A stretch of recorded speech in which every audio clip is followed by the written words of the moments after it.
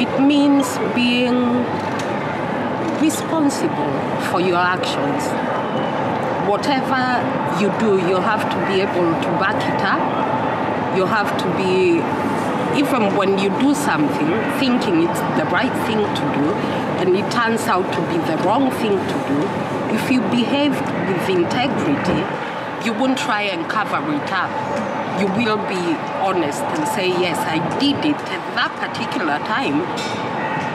Given the situation, I did it because I thought it was the best thing to do. You'll stand by what you do if you're behaving with integrity.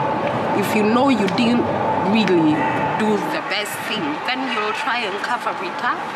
And that, for me, integrity is the opposite of covering up.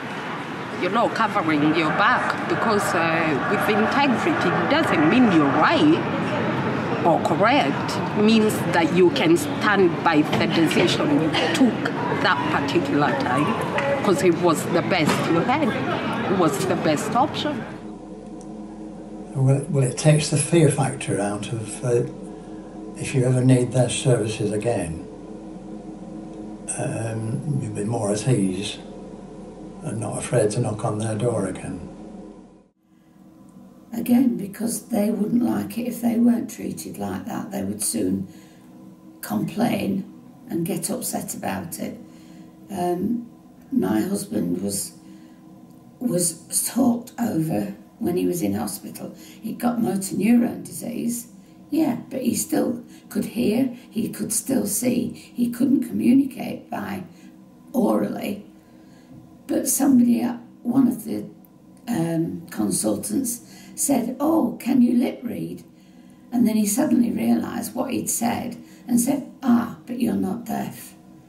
It's not knowing the people that they're caring for. Yes, I think it is very important to be honest.